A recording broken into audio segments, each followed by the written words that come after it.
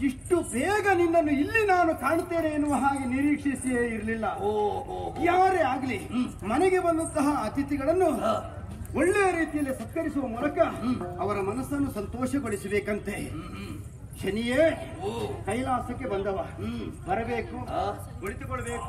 ಮಾತ್ರವಲ್ಲ. ಇಲ್ಲಿವರೆಗೆ ನೀನು ಬರಬೇಕು ಅಂತಾದ್ರೆ ನಿನ್ನ ಬಗ್ಗೆ ನಾನು ಯೋಚಿಸ್ತಾ ಇದ್ದೇನೆ.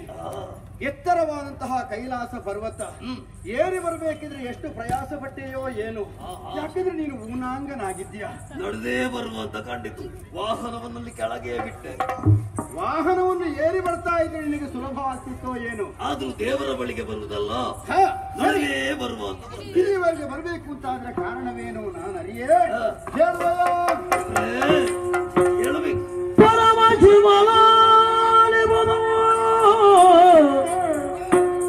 ರಾಜಚಕ್ರವೇ ನಾನು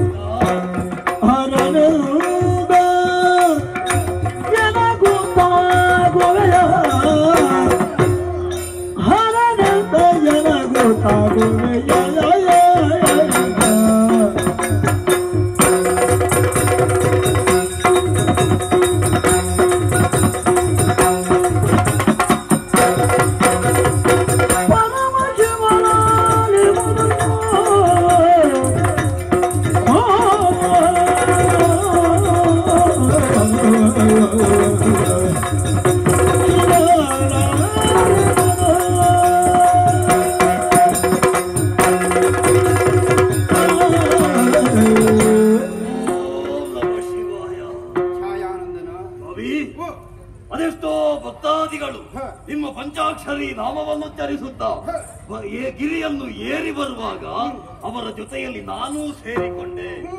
ಯಾಕೆ? ಒಂದು ವೇಳೆ ನಾನೇ ಇಲ್ಲಿಗೆ ಬರ್ತೇನೆಂಬಂತಹ ವಿಚಾರ ಗೊತ್ತಾದ್ರೆ. ಎಲ್ಲಾದರೂ ನೀವು ನನ್ನನ್ನು ಬರಮಾಡಿಕೊಳ್ಳದಿದ್ದಾರೆ ಓಹೋ. ಅನುಮಾನ ಬಂತು.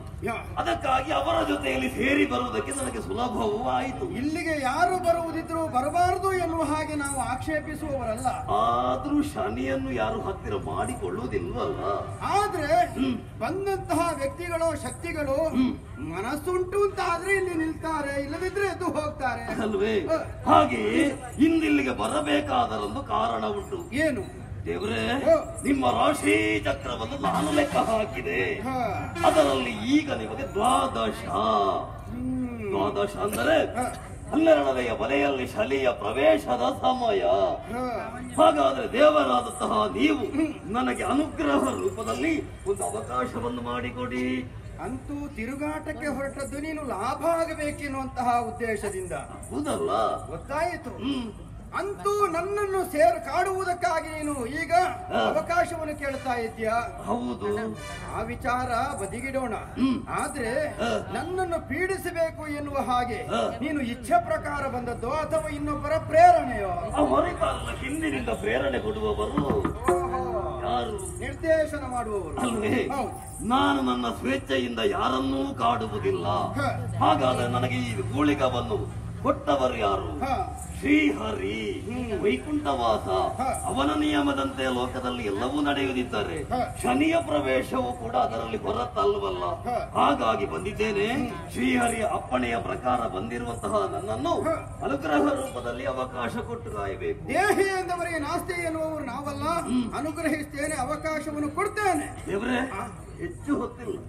ಒಂದು ಮೂವತ್ತು ಗಳಿಗೆಗಳ ಪರ್ಯಂತ ಇಲ್ಲಿ ನಿಮ್ಮಲ್ಲಿ ನೆಲೆಸಿ ಮತ್ತೆ ನಾನು ಹೊರಟು ಹೋಗ್ತೇನೆ. ಮೂವತ್ತು ಸಾಕ? ಆರಂಭ ಅಲ್ವಾ? ಆಗಲಿ. ಆದ್ರೆ. ಅವಕಾಶವನ್ನೇನೋ ಕೊಡ್ತೇನೆ. ಈಗಲ್ಲ ಇವತ್ತಲ್ಲ ನೀನು ನಾಳೆ ಬರಬೇಕು. ಇವತ್ತಾಗುದಿಲ್ಲ. ನಾಳೆ ಬಾ. ನಾಳೆಗೆ. ದೇವ್ರೆ ದೊಡ್ಡ ಕಷ್ಟ ಆಯ್ತಲ್ಲ. ಯಾಕೆ? ಮನೆಗೊಬ್ಬ ಅತಿಥಿ ಹಸಿದು ಬಂದ ಎದ್ದಾದರೆ ಅವ ಹಸಿದಿರುವವನ ಸ್ಥಿತಿ ಹೇಗಿರ್ತದೆ? ಅದನ್ನು ತಿಳಿದಿದ್ದರೂ ಕೂಡ ಇವತ್ತು ನಿನಗೆ ಏನು ಕೊಡುವುದಿಲ್ಲ. ನೀನು ನಾಳೆ ಬಂತ ಅಂತ ಹೇಳಿದ್ರೆ ಅವನ ಸ್ಥಿತಿ ಹೇಗೆ ಆಗ್ಬೇಕು ದೇವ್ರೆ? ಅಯ್ಯ ಮೊದಲೇ ಇಲ್ಲಿ ವ್ಯವಸ್ಥೆ ಮಾಡಿ ಇಟ್ಟದ್ದೇ ಹೌದಾಗಿದ್ರೆ ಕೊಡಬಹುದಿತ್ತು. ಅಂತಹ ವ್ಯವಸ್ಥೆಗಳಿಲ್ಲ. ಹಾಗಾಗಿ ನಾಳೆ ಬರುವಾಗ ವ್ಯವಸ್ಥೆ ಮಾಡಿಡೋಣ ಎನ್ನುವಂತಹ ಯೋಚನೆ ನನ್ನದು. ಆಹಾ ಬಹಳ ಆಲೋಚನೆ ಮಾಡಿಯ ನಿಮ್ಮ ವ್ಯವಹಾರ. ದೇವರೇ ಆಗಬಹುದು. ಇವತ್ತಾಗುದಿಲ್ಲ. ಇವತ್ತಾಗುದಿಲ್ಲ. ನಾಳೆ ಬಾ. ನಾಳೆ ಆಗಬೇಕು. ಹ. ಯಾವಾಗ? ನಾಳೆ. ನಾಳೆ. ನಾಳೆ. ನಾಳೆ. ನಾಳೆ. ಕೇರಳ ಶನಿಯತ್ತ ಹೋಗಲು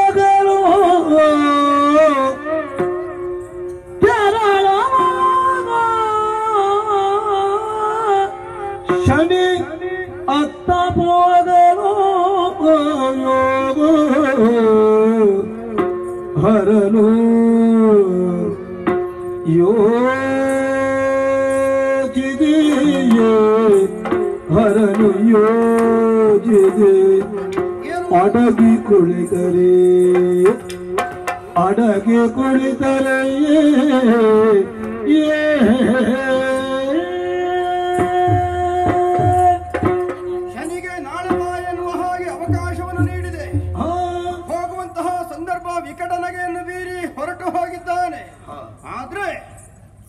ಇವನ ಕಾಟಕ್ಕೆ ನಾನು ಒಳಗಾದೆ ಅಂತಾದ್ರೆ ನಾಳೆ ನನ್ನ ಸ್ಥಿತಿ ಏನಾದೀತು ಎನ್ನುವ ಹಾಗೆ ಯೋಚಿಸ್ತಾ ಇದ್ದೇನೆ. ಹಾಗಾಗಿ ಅಷ್ಟು ಸುಲಭವಾಗಿ ಇವನ ಕಾಟಕ್ಕೆ ನಾನು ಒಳಗಾಗಬಾರದು. ನಾಳೆ ಬರುವಂತಹ ಹೊತ್ತಿನಲ್ಲಿ ಸ್ವಲ್ಪ ಪ್ರಯಾಸ ಪಡಬೇಕು ಇವ. ಅವ ಇಲ್ಲಿವರೆಗೆ ಬರುವಾಗ ನಾನಿಲ್ಲಿ ಇದ್ರೆ ತಾನೇ ನನ್ನನ್ನು ಕಾಡುವುದವ. ಹಾಗಿದ್ರೆ ನಾನು ಕೈಲಾಸವನ್ನು ಬಿಡಬೇಕು. ಎಲ್ಲಿ ತಾಣ? ಉಳಿಯುವುದಕ್ಕೆ ತಾಣ ಎಲ್ಲಿ ಎನ್ನುವುದನ್ನು ನಾನೇ ನಿರ್ಧರಿಸಿದ್ದೇನೆ. ಹಾಗೆ ಮಾಡ್ತೇನೆ ನೋಡೋಣ.